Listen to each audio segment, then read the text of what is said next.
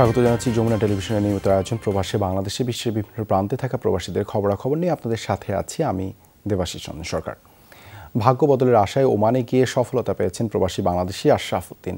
Oman সরকারের surveyor হিসেবে প্রবাস জীবন শুরু করলেও এখন প্রতিষ্ঠিত হয়েছেন সফল ব্যবসায়ী হিসেবে।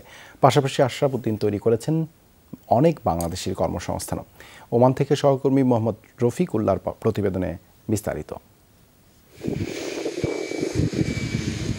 উদ্যোক্তা হিসেবে ওমানে সফল হয়েছেন অনেক বাংলাদেশি। তাদেরই একজন ফেনীর আশরাফ উদ্দিন। দুই সালে ইঞ্জিনিয়ারিং ফার্মের মাধ্যমে ওমানে যাত্রা শুরু করেন এই ব্যবসায়ী। এখন ছয়টি প্রতিষ্ঠানের কর্ণধার তিনি।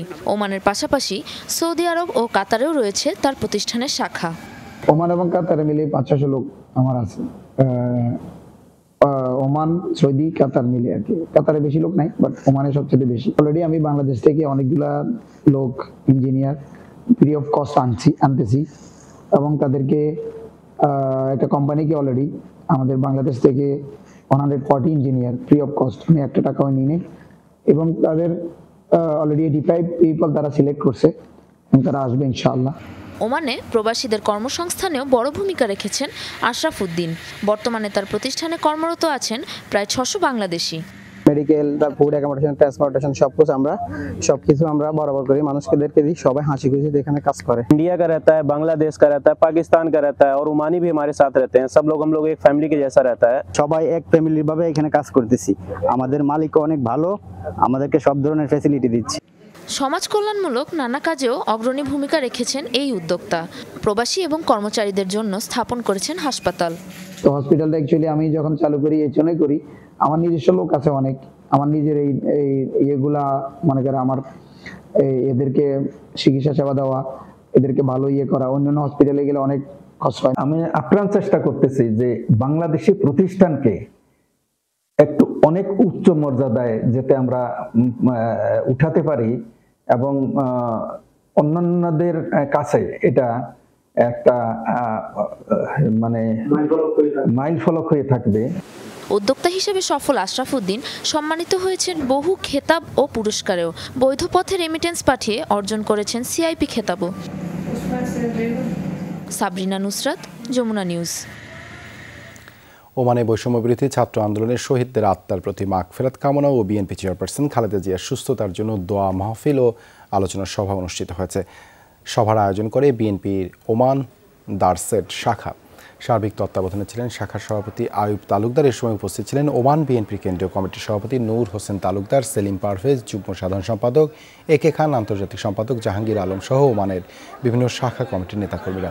ছাত্র আন্দোলনের শহীদদের আত্মার মাগ ফেরাদের পাশাপাশি দোয়া চাওয়া হয় বিএনপি চেয়ারপারসন খালেদা জিয়ার জন্য। মালয়েশিয়ায় অবৈধ অভিবাসী আটক করেছে দেশটির প্রশাসন। বাংলাদেশি সহ মোট পাঁচটি দেশের তিরাশি জন অভিবাসীকে আটক করেছে দেশটির অভিবাসন বিভাগ। বৃহস্পতিবার দেশটির সেলাঙ্গর রাজ্যের একটি শপিং মলে যৌথ অভিযান চালায় অভিবাসন বিভাগ। আটক করা হয় এগারো জন বাংলাদেশি এবং একচল্লিশ জন ইন্দোনেশিয়ান সহ বিভিন্ন দেশের নাগরিকদের। বৈধ কাগজপত্র না থাকা, অতিরিক্ত সময়, অবস্থান ও পাসপোর্টের অপব্যবহার সহ বিভিন্ন অপরাধে আটক করা হয় তাদের। আটককৃতদের রাখা হয়েছে দেশটির সেমিনি ইমিগ্রেশন ডিপোতে। মালয়েশিয়া প্রবাসীদের মোবাইল কনসিউলার সেবা প্রদান করবে Bangladesh high commission. Johor Bahru, Penang ও কুয়ান্তান শহরে চলবে দুদিনের এই আয়োজন। শনি ও রবিবার স্থানীয় সময় সকাল সাড়ে নটা থেকে বিকেল পাঁচটা পর্যন্ত অগ্রণী রেমিটেন্স হাউজে এই সেবা কার্যক্রম চলবে, যাতে কনসিউলার সেবার পাশাপাশি দেশটির কয়েকটি প্রদেশে ই পাসপোর্ট আবেদন গ্রহণ, হাতে হাতে পাসপোর্ট ডেলিভারি সেবাও প্রদান করবে বাংলাদেশ হাইকমিশন সেবার জন্য আগামী বিশ আগস্টের মধ্যে অনলাইনে আবেদন করতে হবে বলে জানানো হয়। বৈষম্যবিরোধী ছাত্র আন্দোলনে হওয়া হত্যাকাণ্ডের স্বাধীন তদন্ত করবে জাতিসংঘের ফ্যাক্ট ফাইন্ডিং মিশন তাদের কর্মপরিধি ঠিক করতে আগামী সপ্তাহে বাংলাদেশে আসবে একটি কারিগরি দল। সকালে পররাষ্ট্র উপদেষ্টার সাথে সৌজন্য সাক্ষাতের পরে কথা জানান জাতিসংঘের আবাসিক সমন্বয়ক গোয়েন লুইস। তিনি বলেন, স্বাধীন তদন্ত কমিশনের অর্থায়নও করবে জাতিসংঘ। পরে পররাষ্ট্র উপদেষ্টার সাথে দেখা করেন রাশিয়ার রাষ্ট্রদূত। তিনি জানান, রূপপুর পারমাণবিক প্রকল্প বাস্তবায়নে কিছুটা দেরি হতে পারে, তবে তা কঠিন নয়। আর জাপানের রাষ্ট্রদূত বলেন, কে ক্ষমতায় থাকলেন তা বড় বিষয় নয়। জাপান বাংলাদেশের উন্নয়ন সহযোগী হিসেবেই থাকবে। আমরা প্রত্যাশা করছি এই তদন্ত নির্মোহ ও নিরপেক্ষভাবেই করতে পারব। এজন্য নিজস্ব অর্থায়নের স্বাধীন তদন্ত কমিশন গঠন করতে যাচ্ছে জাতিসংঘ। বৈষম্য বিরোধী ছাত্র আন্দোলনে নিহত ও আহতের ঘটনা তদন্তে ঢাকায় আসছে জাতিসংঘের তদন্ত দল। Discussed বাংলাদেশ আমাদের অন্যতম বন্ধু। এই দেশের ক্ষমতায় যারাই থাকুক জাপান সবসময় বাংলাদেশের পাশে ছিল ও থাকবে।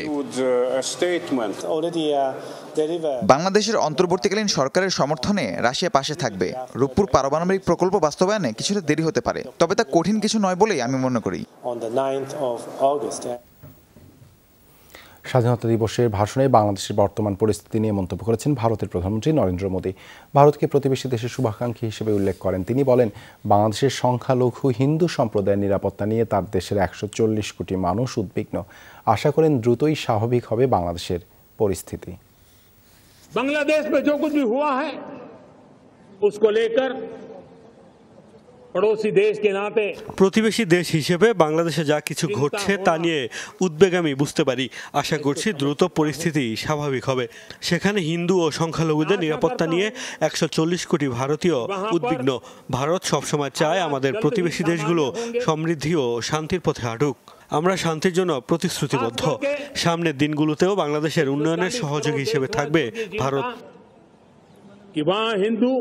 কলকাতায় নারী চিকিৎসককে ধর্ষণ ও হত্যার প্রতিবাদে উত্তাল পশ্চিমবঙ্গ বুধবার। অভিনব রাত দখল কর্মসূচিতে অংশ নেন সর্বস্তরের মানুষ। সমর্থন জানিয়ে পাশে ছিলেন বিভিন্ন অঙ্গনের তারকারাও। বুধবার রাত নটা থেকেই রাজ্যের নানা জায়গায় শুরু হয় জমায়েত।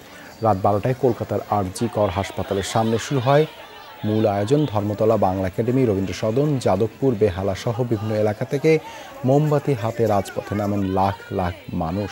সাধারণ ছাত্রছাত্রীদের সাথে আন্দোলনে যোগ দিয়েছে বিজেপি, কংগ্রেস ও বাম দলগুলো। দিল্লি, উত্তরপ্রদেশ, মহারাষ্ট্র, পাঞ্জাব সহ বিভিন্ন রাজ্যে পালিত হয়েছে রাত দখল কর্মসূচি। গেল শুক্রবার কলকাতার আরজিকর হাসপাতালের সেমিনার রুম থেকে উদ্ধার করা হয় একত্রিশ বছর বয়সী নারী চিকিৎসকের মরদেহ। এই ছিল প্রবাসী বাংলাদেশে এতক্ষণ সাথে থাকার জন্য। ধন্যবাদ সবাইকে।